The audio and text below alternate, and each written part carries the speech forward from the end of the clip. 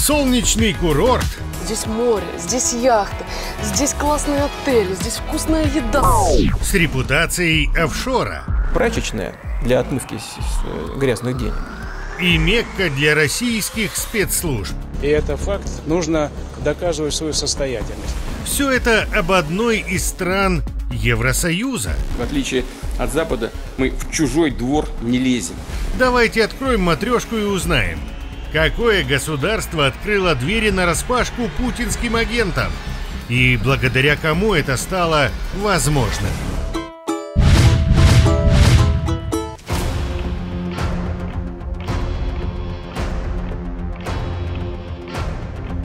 Утро 24 февраля 2022 Начало полномасштабного вторжения России в Украину.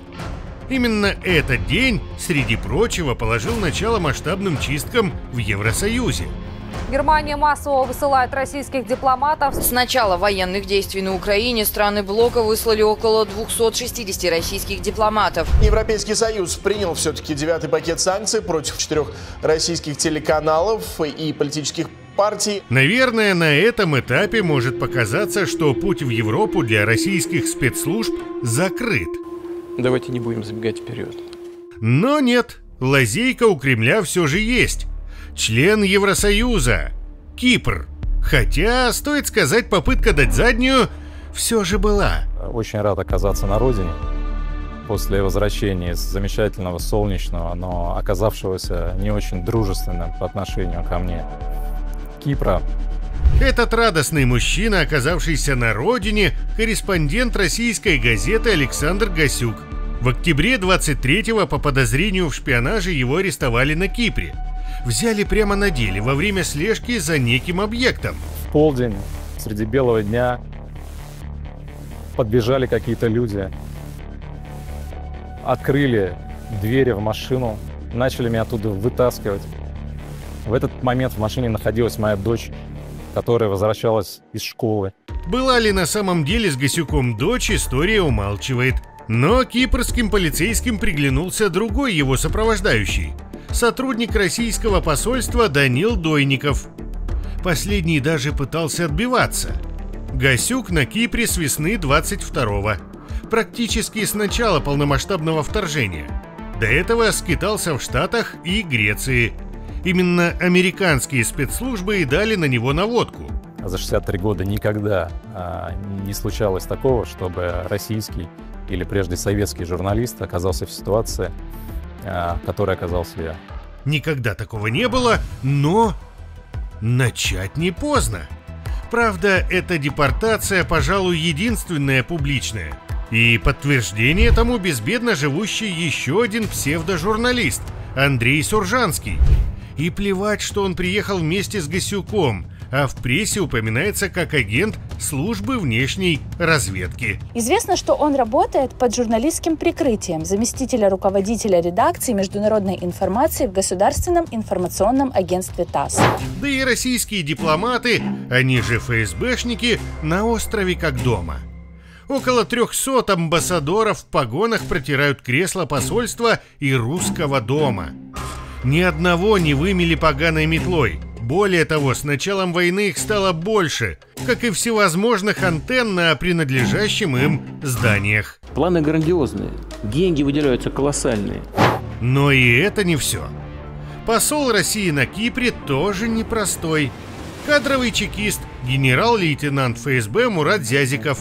Как вы уже успели понять, дипломатическим опытом он напрочь обделен – но это не помешало ему в разгар полномасштабной войны усадить мягкое место в заморское кресло и пустить русский мир в массы. Так на гостеприимной кипрской земле он забабахал 9 мая.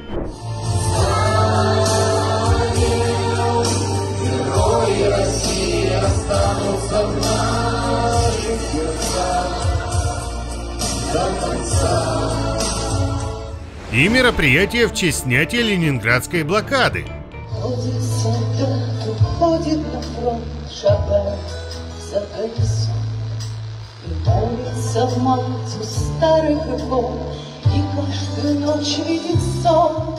присутствии местных кипрских чиновников открыл двойника краснодарскому курорту Айнанапа Геленджик.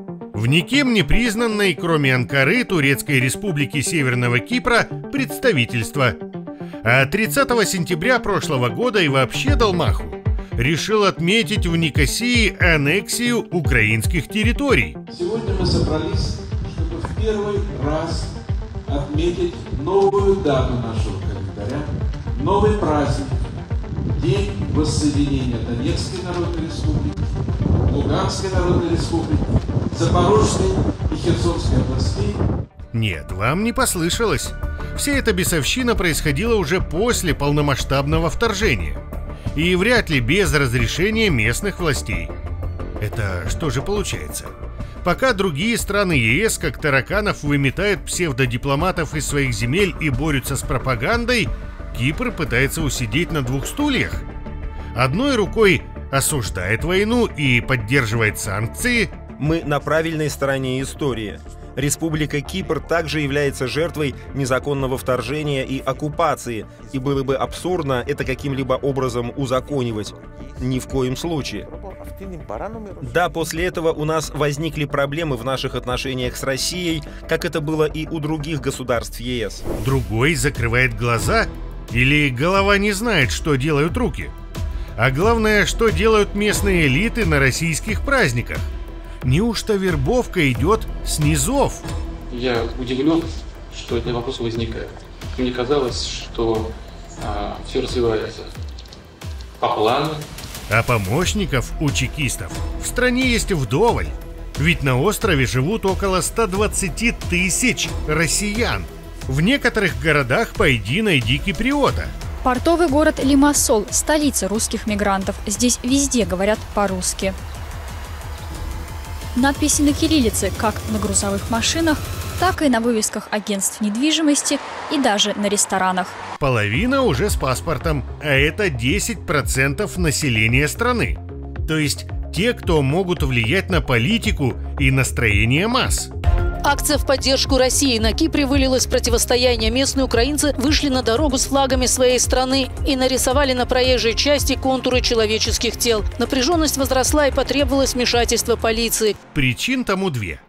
Первое – золотые паспорта, которые Кипр с 2002 по 2020 выдавал кому ни попадя.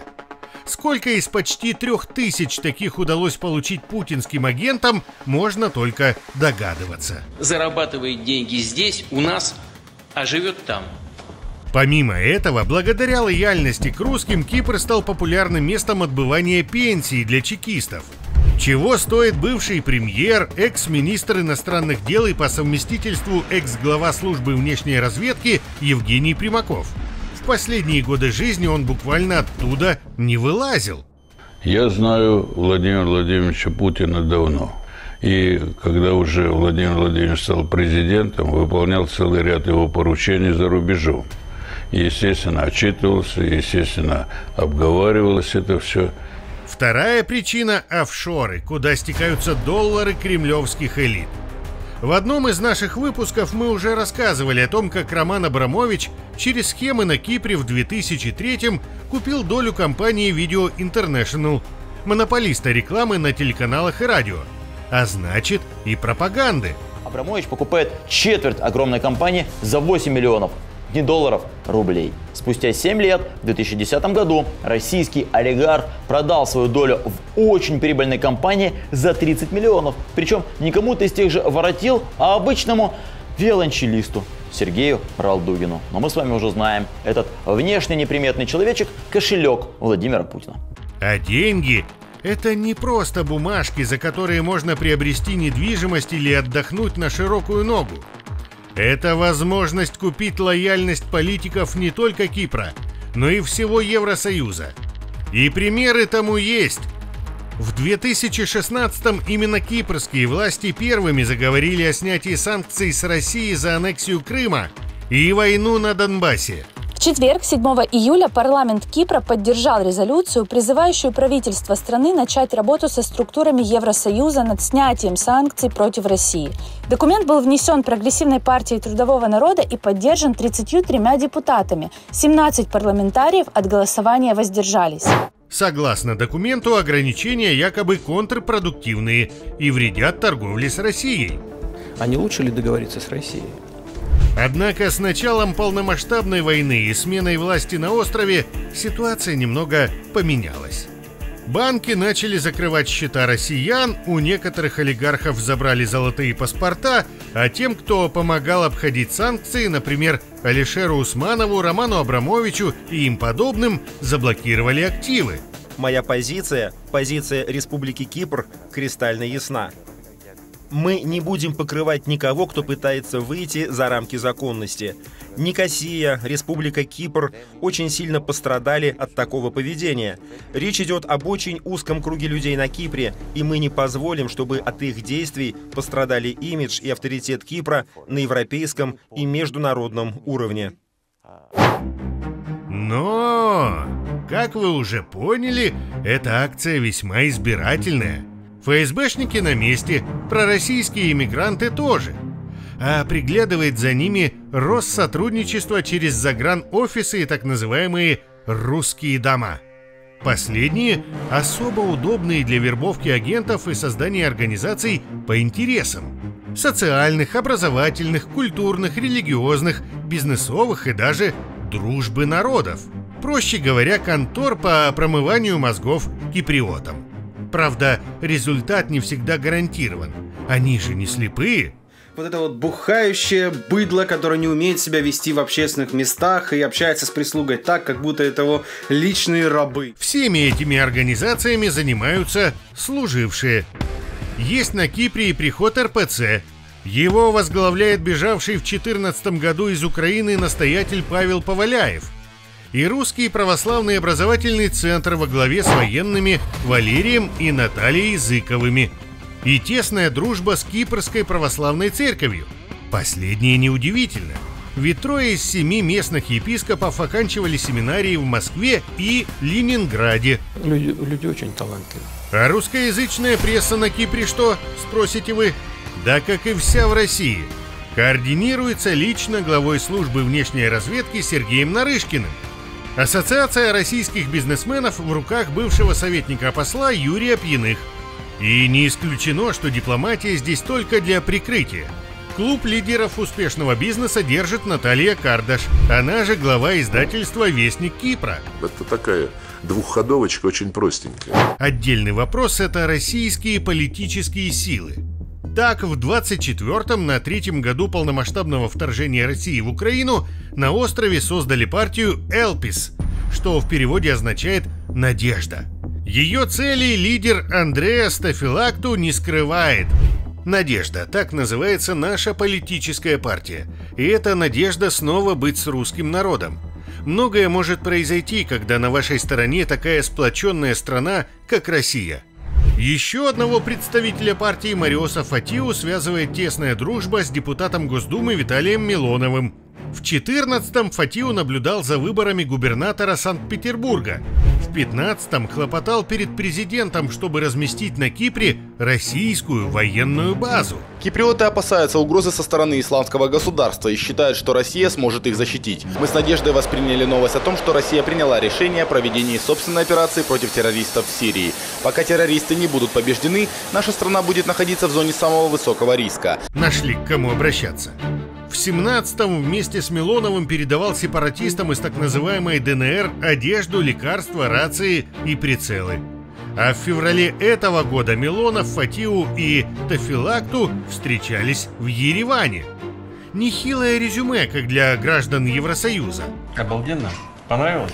Дружественной Москве считается коммунистическая партия Акел.